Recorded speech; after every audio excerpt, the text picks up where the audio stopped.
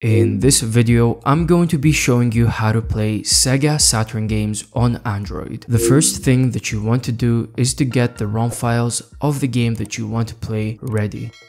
Now you can either extract the ROM files from games which you already own or you can also find a download online but I'm not going to be showing you where to find them in this video. If the Sega Saturn game comes in a zipped file such as .zip or .7z or .rar then you want to make sure that you first unzip the files so that they come in a folder like this and inside the folder you're going to see a list of .bin files as well as a .cue file which looks like this. Once you have the ROM files ready, you can go ahead and install the emulator which we're going to be using and the emulator which we're using for this video is called Yaba Sanshiro 2. I was able to run a bunch of games using this emulator and it's also pretty simple to use so it's the one that I would recommend. Once you have Yaba Sanshiro 2 installed, you want to make sure that you launch the application. Click on Um, start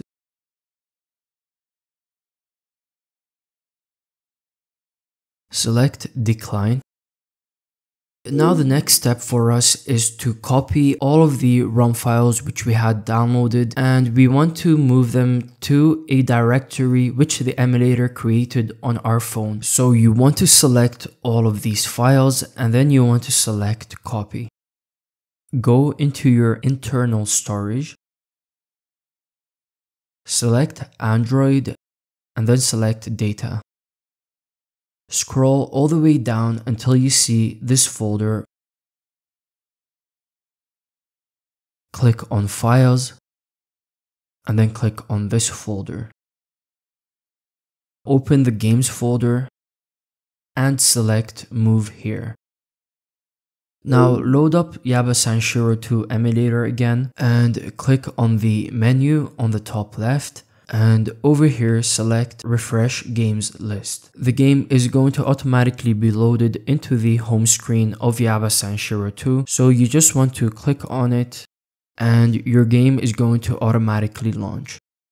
As you can see, you have all of the controls that you need on the screen of your Android phone or tablet I would recommend going into landscape mode for a better experience.